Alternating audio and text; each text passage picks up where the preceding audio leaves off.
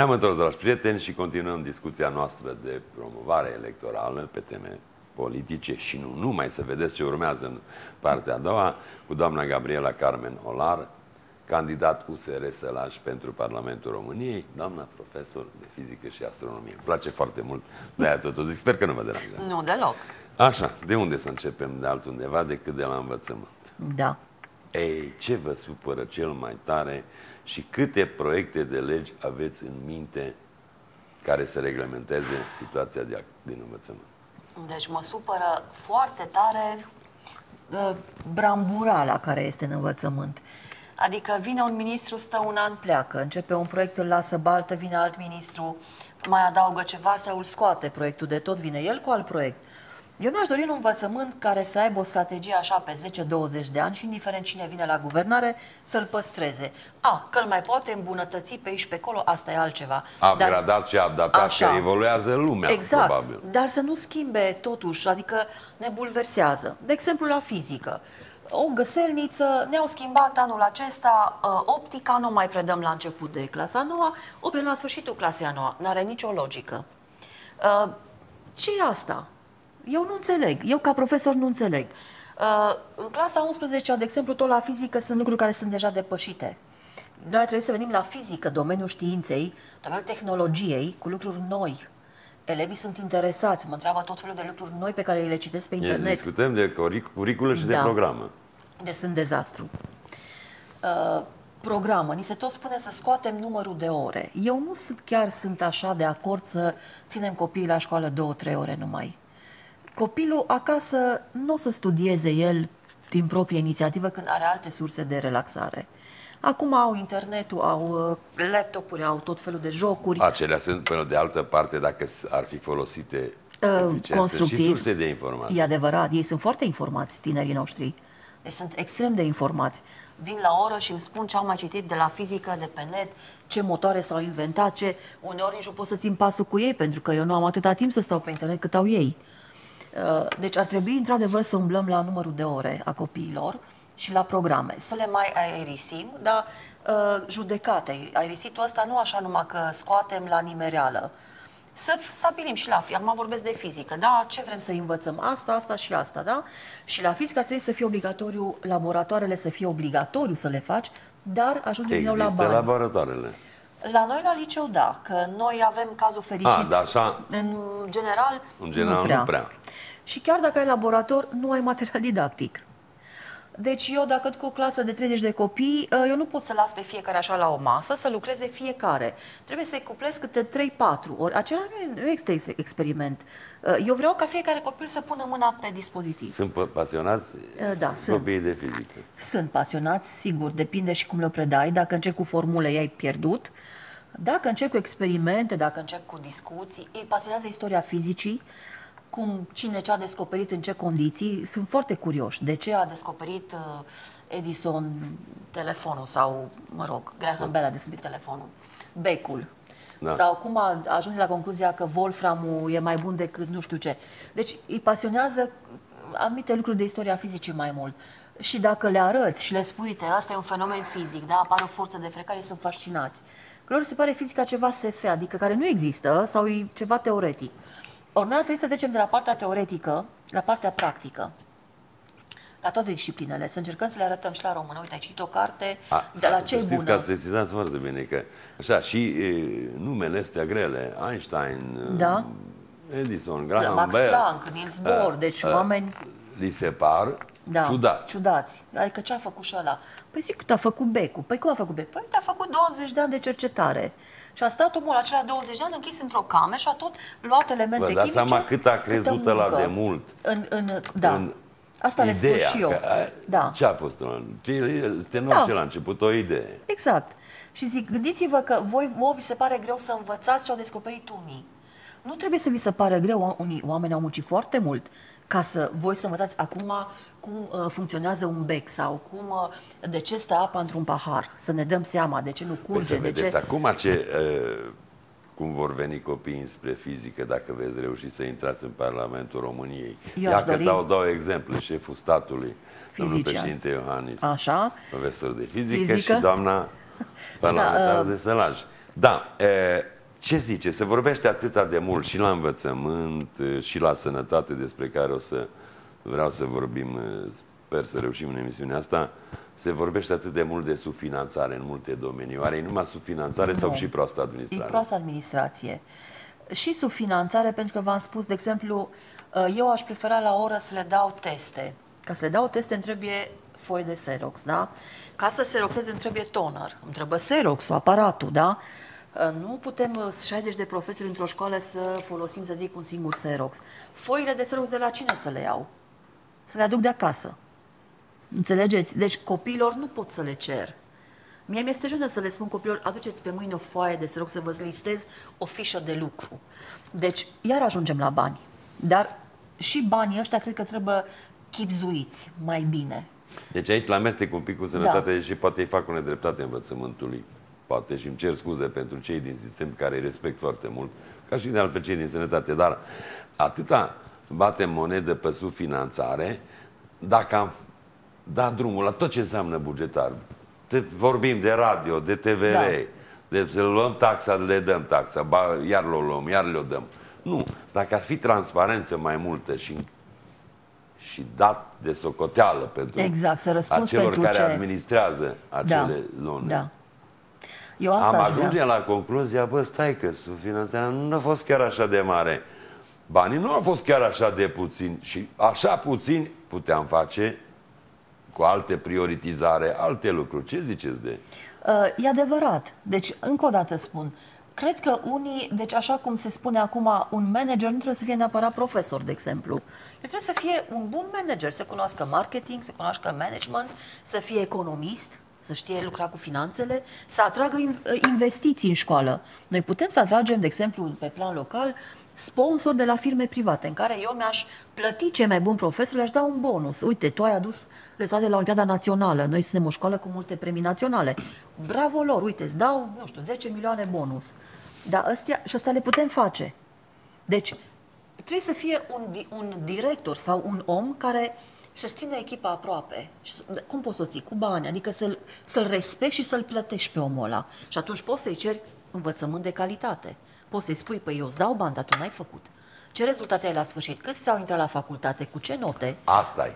Păi asta este. asta Dar la noi toți un pic, au... Un pic și de condiționare. Exact. Câți de, credeți dumneavoastră cu experiența care aveți în învățământ că mai sunt în învățământ apropiați așa de ceea ce știm noi, domnul Trandafir, Adică el a făcut... Uh, da. Uh, sigur profesor. că și pentru bani, dar cu pasiune, cu dragoste Mai sunt, să știți. Copii. Mai sunt, dar mai puțini. În ultima vreme, din ce în ce mai puțini. Uh, vremurile sunt altele. Tinerii, normal că își doresc bani mai mulți, că nu pot trăi cu bani puțini, îți de înțeles și ei, dar în același timp trebuie și ei responsabilizați. Adică vin tineri care, nu vreau să mă leg de facultăți, dar sunt foarte slab pregătiți să vin și tineri foarte buni, dar de obicei tinerii foarte buni într-un domeniu merg pe firmele private, unde câștigă bine. Că au oferte. Da. Și... Simplu, pentru că au ofer... exact, ăia sunt exact. ofertați. Da, deci, deci iar ne întoarcem la bani. Adică dai omului bani, cere ceva pentru banii care îi dai și trage la răspundere. Asta trebuie să fie mersul firesc. Dar nu, nu-i ceri, la noi invers. Și evaluarea se cere performanță, da. Avem o fișă de evaluare de 10 pagini în care câte trebuie să faci tu, da? Dar nu-i dai bani la om, dar îi cer să facă. Nu-i cere, adică sau cere să facă, și dar toate și care bani. sunt fișa aia de evaluare sunt ok? Nu, unele sunt aberante, adică eu nu pot să că concurez la fișa de evaluare cu profesorul de sport. El nu poate să aibă premii uh, la bun, are la Olimpiada Națională să zic, da, sau cu ăla de muzică, sau, adică suntem domenii diferite. La fizică e foarte greu să iei un premiu. Adică e foarte grea disciplina.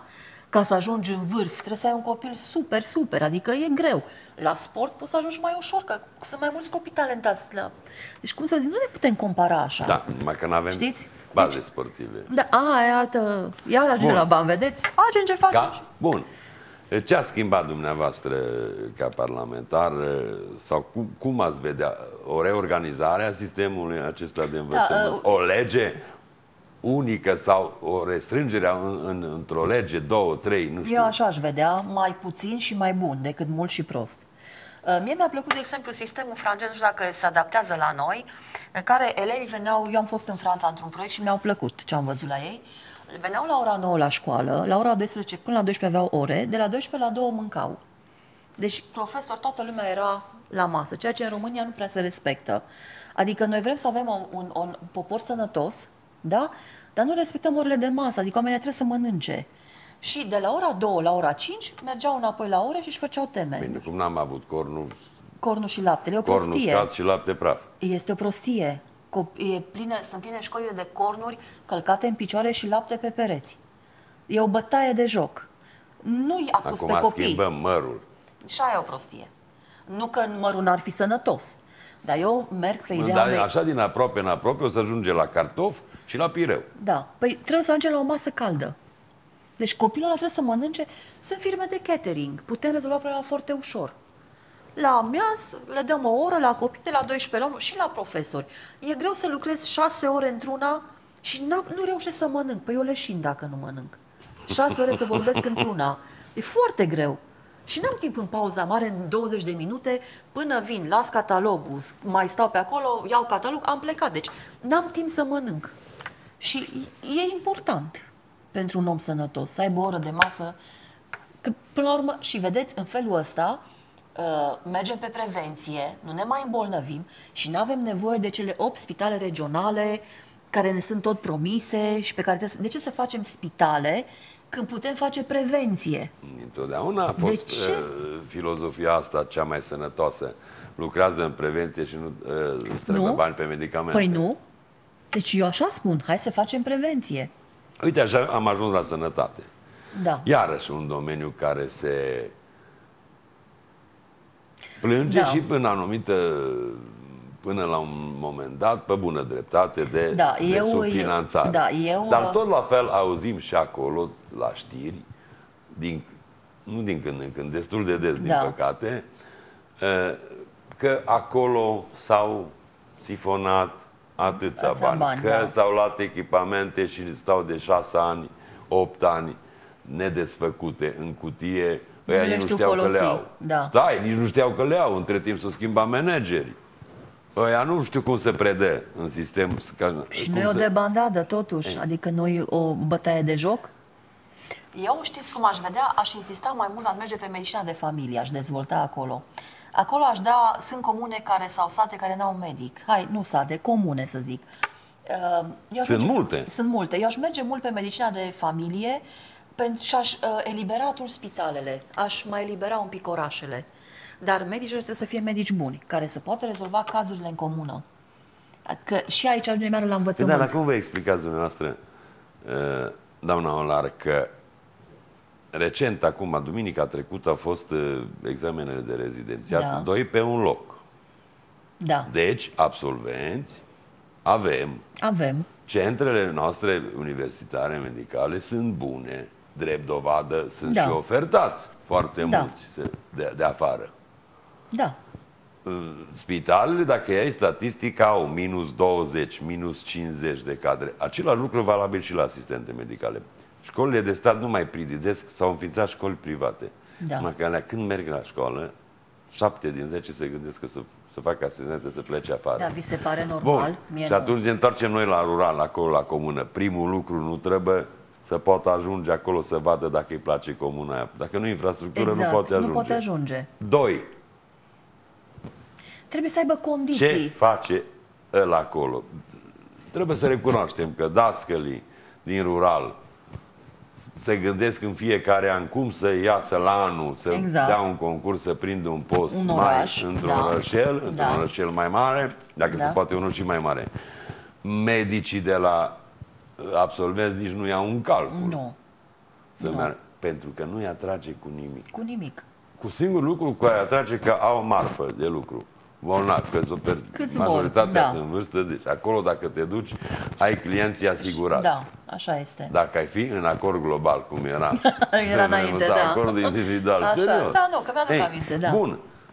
Ce se poate face ca Uh, în primul să-i rând, cred că ar ignoreze? trebui Bun, să... salariu. Da, ar Cu trebui să... salariul mic și și. Și la mentalitate. adică insuficient. Noi am ajuns așa uh, niște oameni care nu mai ne iubim deloc țara asta. Uh, mă uit așa, eu chiar o iubesc. Puteam și eu să emigrez. Am avut acte pentru Canada. Da, am renunțat. Am zis, mai, dacă plecăm toți ce facem? Închidem țara, punem lacătul. Nu se poate să plecăm toți. Eu, eu îi cred pe tineri că le este greu, dar toți am plecat. Ei trebuie să înțeleagă că ei trebuie să do- capete puțină experiență. Și la- într-o comună, eu zic că de început pentru unii ar fi chiar ok. A, că pe urmă doresc și simt ei că pot să fie medici, chirurgi foarte buni sau nu știu ce, e altceva, dacă își doresc mai mult.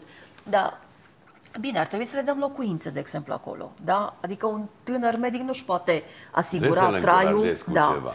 Să în, aibă... în afară de faptul Da. că dacă nu ai făcut drum să el să ajungă în zic, comuna să aia, ajungă, să nu aibă- se duce să vadă. Exact, să aibă... Poate ceva interesant, poate, Da. uite mă ce zonă frumoasă. Exact. Chiar mi-ar place. Deci să- ar trebui să aibă un cabinet dotat cu tot ce trebuie, nu numai cu stetoscop. Ce să fac el acolo cu stetoscopul? Trebuie niște aparate, le spună ceva. la bătrâni când au răcit. Exact. Deci le trebuie niște aparatură minimală pe care să aibă un medic de familie. Un ecograf, un ceva, ceva să aibă oamenii aia cu ce să lucreze. Să aibă acces, așa cum spus, la drumuri, adică nu cu căruța și cu șareta. Că Nu o să meargă niciun tânăr acolo. Deci, trebuie să ne gândim un pic la... um, Noi ne gândim la USR aici. Acum știți cum e, toată lumea vine cu proiecte, programe și spun că vor face, vor drege. Eu zic că mai întâi ar trebui să... Noi pornim altfel. Noi mergem și întrebăm pe tine, tu ca medic tânăr la țară, ce ți-ai dori? Eu cred că de acolo ar trebui să plecăm, invers. Nu noi să mergem să facem proiect, îți dăm, îți facem, știi că poate tânărul ăla nu vrea aia. Poate el îmi spune, doamnă, eu vreau, uh, nu știu, o vilă cu piscină. Nu putem să-ți dăm. Ne pare rău. Ne pare rău. Deci, cred că trebuie să mergem invers, să vedem ce-și doresc tinerii ca să-i ținem, să poată să stea acolo. Eu, și la profesorii tineri, tot așa. Ce ți-ai dorit tu în învățământ? Cum să fie? Ca să te potrivești și tu cu el și el cu tine. Așa și cu medicii tineri. Să se împrietenească Exact, cele două. părți. Nu să exact. rămână dușmani Exact, pe nu viață să mergi până la cu pensie. ură sau mă duc ca medic în comună că n-am unde lucra. Trebuie să prindă drag de locul ăla și să-i oferim niște facilități. Eu așa văd lucrurile. Că hai să întrebăm noi pe tineri ce-și doresc și pe urmă să veșnim cu proiectele, cu programele. Uite, vrei asta? Hai, noi încercăm găsim bani să-ți facem o casă la țară. Da? Te ajutăm. Cum vrei tu? Acum nu vilă, dar îi dăm condiții absolut normale și umane. Îți dotăm uh, cabinetul medical, îți dăm o asistentă, că nu poate lucra singur omul. Adică îi facem ceva, îl ajutăm cu ceva. Că așa numai promisiuni că o să facem, că o să dregem, eu nu mai cred în ele. Și știți cum e? Uh, Ce să promiți când nu știi ce e la București, ce, ce găsești? Eu pot să promit că o să le fac uh, nu știu ce, dar eu știu ce este acolo și câți bani are țara? Ne spune nouă cineva? Păi, da, Păi, dumneavoastră, da. dacă veți ajunge la guvernare și cu ceilalți parteneri, am înțeles că îl susțineți pe Domnul Cioloș, domnul da. Cioloș premier. Da. Asta spun. Teoretic ar trebui decât să dezvoltați și continuând un, Da, proiect, un pe proiect. care, sigur, în perioada aceasta de un an, Pe care a început de domnul Cioloș. interimați și în condițiile Da. pe care le știm, cei care le știm, Da. sau le știe lumea sau le intuiește care Da, le da, știe. da. Nu ar trebui să fie chiar așa de complicat. Și vă mai sp- să-mi spuneți dacă sunteți de acord. Știți ce? Și nu vorbește nimeni despre asta.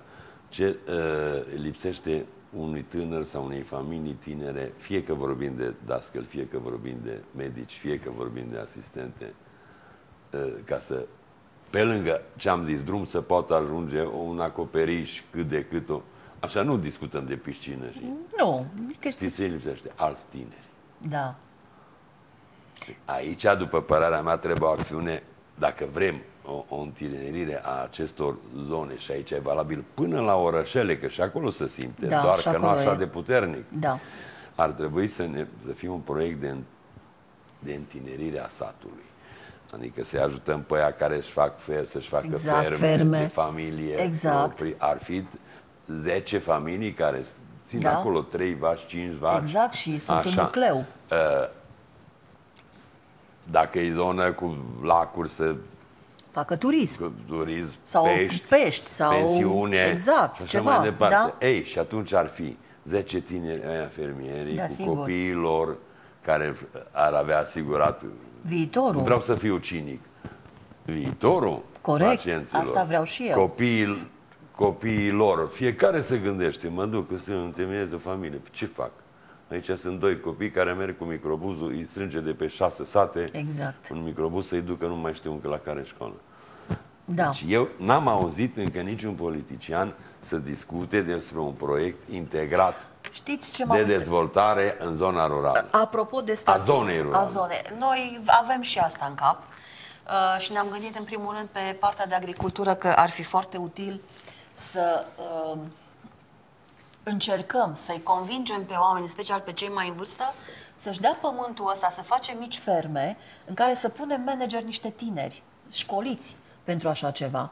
Da, că te cam atacat Da. adică și agricultura. Pentru că... Că uh, nu-aveam cum într-un oraș, prepon- într-un județ preponderent Agrar. agrar, cum e Sălajul. Exact, deci nu de pot- ce credeți că e tot în coada clasamentului la dezvoltare economică Sălajul? Pentru că Oare? nu știu de ce tot uităm înspre Cluj, dar noi nu ne putem muta toți în Cluj, să facem industrie, să facem IT, toți. Uh, Noi trebuie să ne uităm și ce avem în județ aici la noi și poate că nici direcțiile economice care au fost până acum gândite la nivel de, nu știu, prefectură, de consilii locale, n-au fost chiar cele mai potrivite oamenilor din Sălaj. Ei trebuie să se gândească că aici este mult pământ arabil care se poate valorifica și era mai bine dacă veneau cu proiecte pe domeniul ăsta și mai puțin pe altele. Adică că multe proiecte nu prea sunt pe Sălaj. Eu n-am văzut mare lucru de atâția ani să se întâmple ceva frumos în Sălaj. N-am prea văzut pe turism, n-am văzut nimic. Uh, economic, uh, Mișleniu și Silcotubu ține zalău. Uh, micile firme se zbat cum pot să trăiască printre ei, printre Câțiva coloși. fermieri mai mici. Așa, mai mici, uh, Ce turism. ziceți din punct de vedere turistic? Poate reprezenta Sălajul o, o opțiune, o, o atracție? Cât de Avem cât? multe biserici de lemn vechi de sute de ani care sunt în uh, patrimoniu UNESCO. Uh, am putea organiza niște tururi, niște circuite turistice, de exemplu, în care să vizeze mai multe chestii. Că acum nu suntem într-adevăr un județ foarte atractiv da, turistic. De aia v-am întrebat. Știți de ce? Pentru De că ce? b- bat de ceva vreme distanța asta Cluj-Zalău Da. și în afară de niște uh, tăblițe care și ele stau să cadă, vorbesc ca indicatoare, uh, spre câte o biserică sau Așa. o mănăstire, Nimic. n-am văzut Da, nimic. așa și este. mi-am pus întrebarea, bă, nu este? Ba da, sunt.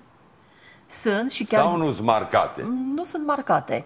Sau Sunt- există, dar nu sunt amenajate și atunci la ce să le marchezi?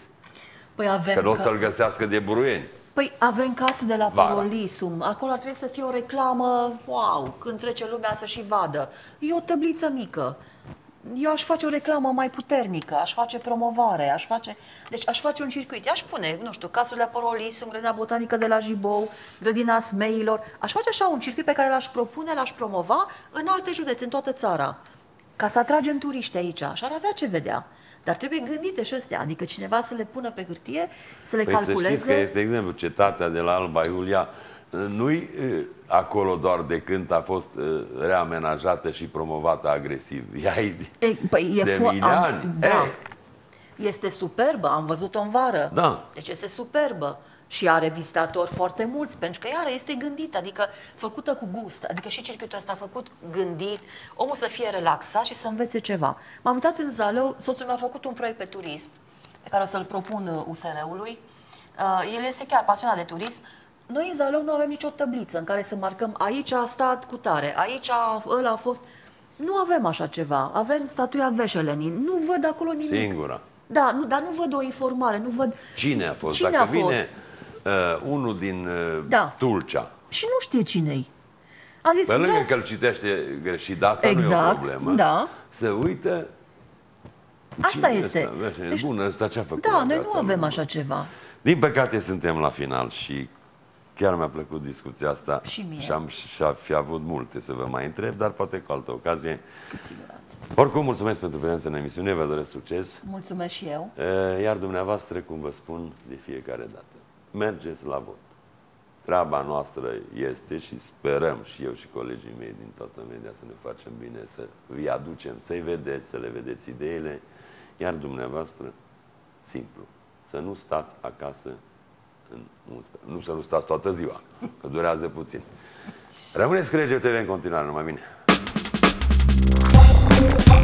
Thank you.